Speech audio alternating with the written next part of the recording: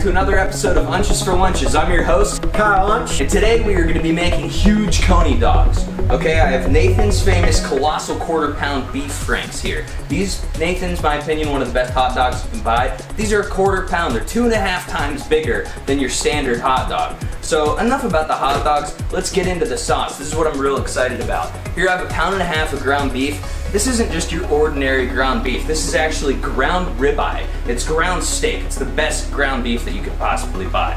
So, with that being said, I'm gonna show you guys how to put all these ingredients together. The ketchup, the mustard, the pepper, the cumin, the chili powder, onion powder, garlic powder, salt, minced garlic, uh, tomato paste. We're gonna throw some Mexican style uh, chopped tomatoes in here and an onion. I'm gonna whip up all this together. We're gonna make some unbelievable coney dogs. Let's jump right into it.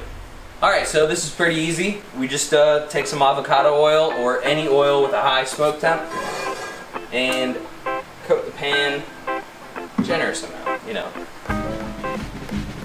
Get the onions in there. This Land O'Lakes garlic and herb butter because I'm lazy and don't feel like making my own right now. And add a little bit. And the oil will help the butter from actually smoking up too much. Flavor the onions.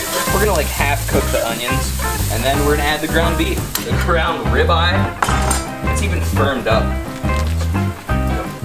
Steak. Just gonna crumble it up in there. And a ground ribeye is good because it's got a lot of fat in it. And it crumbles real easy. Look at that. You know, you don't have to ch chop it up real fine with the spatula. The work's already done for you. Especially if you loosely grind it.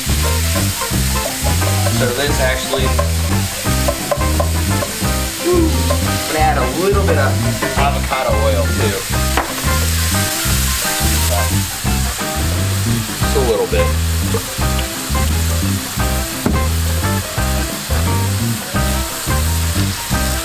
All right, and while this is cooking, while this is browning a little bit, we're gonna go ahead and throw the uh, the seasonings together into a bowl.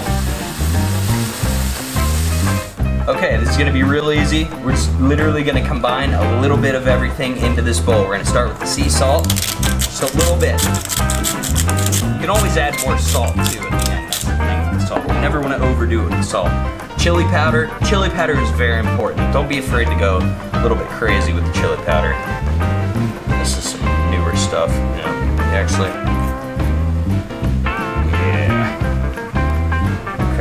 Then cumin. Don't go crazy with cumin either. Just a little bit. And I'm not going based on certain measurements and stuff like that. If you don't know, just do what I do. A little bit at a time. If you think you need more later, use it. Onion powder. Garlic powder.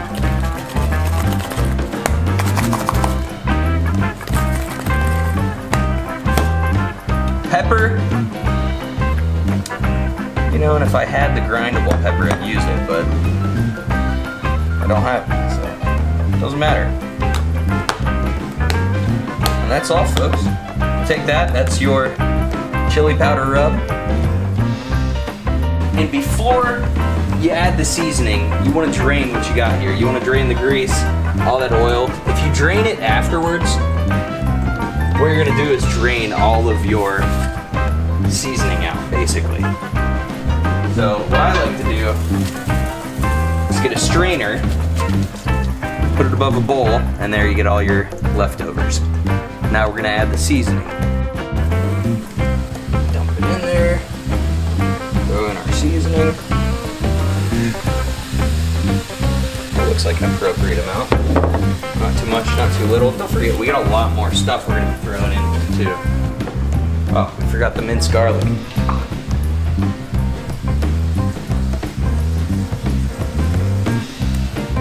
Okay, so in this bowl, we're just gonna put some ketchup.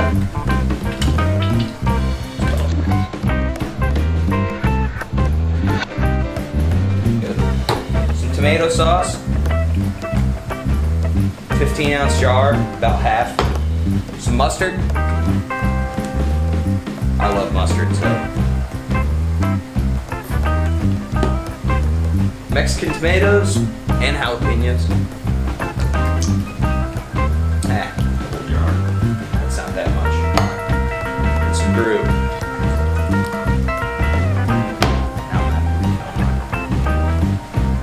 That's it. Give it a little stir. Gentle stir. You dump it right in there. And this is a lot of liquid, so we're gonna let it simmer. I'm thinking probably about an hour before we get the dogs on. We're just gonna let it do its thing, let the ground beef get to know the sauce, let them get acquainted with each other, and then I'll show you how to prep these dogs. Damn! That's coming together. Oh, she's a boy, man. Told you. Alright, before we throw these dogs on the grill, we're gonna give them a little accent, a little touch, a little chef's touch. A lot of people don't do this, but you're gonna wanna put slits, just little slits, in the hot dog. You might say, why would you do that, Kyle? I wanna do it all the way around, so then rotate the dog. Keep them going. And you do this because as it cooks, you'll see later, these slits will open up into little crevices that the chili juice and seasonings and all that will just be able to absorb into and gives a little bit of extra flavor to the hot dog and some texture. You know, like I said, chef's touch. So I'm gonna do this to all these and then we'll get them on the grill.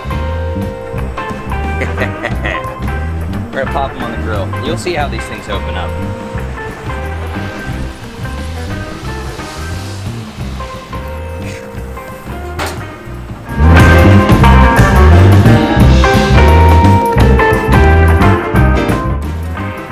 Dogs are done. We're gonna plate them up, take them inside. Oh my gosh, we gotta, look at that. Black char on the outside. The slits look amazing. The corkscrew dog. Take them inside, plate them up. Sloppy Joe mix on top is basically what it is. Some spicy Joes. Go, let's assemble these dogs. Look at this chili sauce. Perfect consistency. Not too soupy, all of the liquids and the beer evaporated and then soaked into the beef. Perfect. All right, let's, let's get a couple of these bad boys. And some people might say, oh, those buns are a little bit big for the dogs. No, they're perfect size actually for the dogs. So that just leaves more room to fill the chili. So in this dog, what we're gonna do put the cheese on top. This dog, we're gonna put the cheese on bottom. We're gonna see which one we like more. Cheese on top is an okay method, but then usually, you know, it's best to apply maybe some heat afterwards. Like I'm gonna put this one on the grill afterwards to get the cheese melty. This one, we're gonna do what we call the reverse melt. The reverse melt's fun because actually you just put the cheese right on the bottom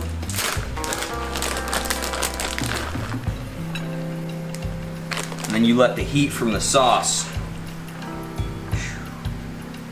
melt the cheese. There's two different methods there. You can choose your favorite. Okay, just got back from the grill, heated this one up a little bit. Whew, that's some melty cheese. It looks good. And all the cheese on this one, uh, she's still raw under there. I think the I think the method is definitely to to heat it up on the grill. You know what, we're gonna do that same thing with this one, and it's gonna be extra cheesy. Just put a little bit on top there. Get a nice melt on it. Then we'll try them out. Hey, cheers to Colossal Dogs. Try these wieners out. Colossal.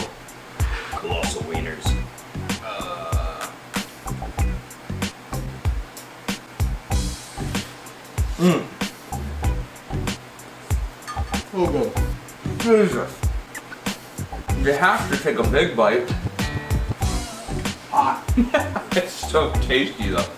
Delicious. It's like Perfect. It's spicy sloppy Joe. Very good. Like a spicy sloppy Joe, Spicy Joe. but better. Sleepy Joe. Sleepy Joe. Mmm. Because they're amazing, unbelievable. Try it out. Until next time, we'll see you on another episode of Untch's for Lunches granddad. Maybe Matt will be there too.